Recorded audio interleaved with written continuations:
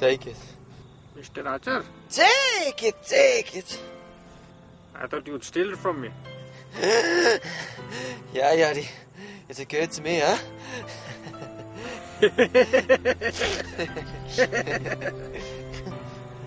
Listen.